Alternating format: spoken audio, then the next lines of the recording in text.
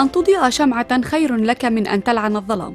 وهذا ما فعلته ميساء التي لم تختلف كثيرا عن أبناء جيلها إلا أنها لم تجلس وتندب حالها وحظها العاثر.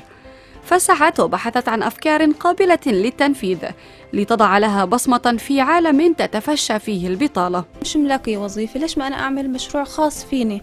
مشروع أنا بحب مثلا أشتغله مشروع أنا يكون عندي القدرة أني أديره. ففكرت بمشروع بسيط بما أنه عندنا خلفية آه، عن الخرز عنا بالعيلة. فخالتي بتشتغل بالخرز وعندها هواية في هيك أمور وكنت متابعتها من الأول. فخلال كان اللي شجعني أكثر وأكثر على الفكرة تبادل أفكار كانت يعني ما كنت خاطرت لي مية بالمية أنه أعمل هذه الفكرة. كانت تبادل أفكار. فبعد ما تم تبادل الأفكار طوالي عرضت الفكرة على صديقاتي على أهلي آه، على الجهات المختصة يعني اللي عندهم أصحاب الخبرة خلينا نحكي. فالكل رحب في الفكرة وكانت الفكرة حلوة.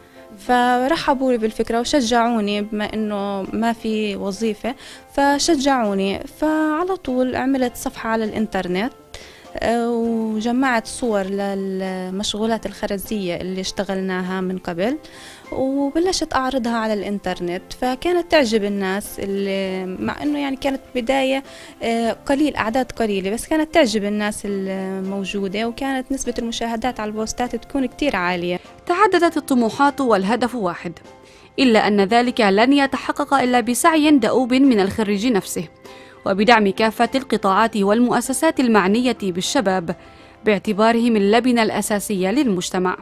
أي خريج عنده أي خطة أي بحياته سواء أنه ممكن يكمل دراسته ممكن يتجه للخارج ممكن يبحث عن شغلات غير المشغولات الخرزية الإبداع يكون موجود عنده ويكون عنده طاقة إيجابية وما يستسلم للملل ويحكي لا أنا خلاص ما بدي أتوظف ما في وظيفة بدي أضلني قاعدة بالبيت لا بالعكس لازم يبادر ويحاول.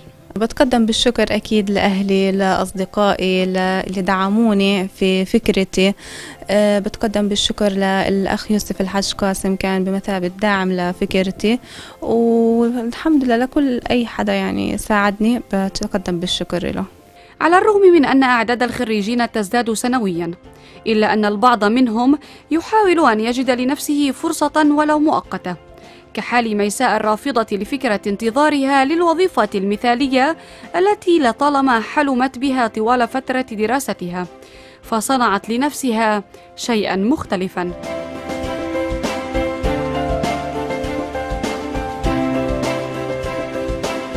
بعيدا عن اليأس والإحباط. تحاول ميساء أن تجد ما يشغلها دون الاستسلام لتلك الطاقة السلبية التي ترافق الخريج في بلد نسبة البطالة فيه تفوق عدد الخريجين. لتلفزيون الفجر الجديد تسنيم قشوع.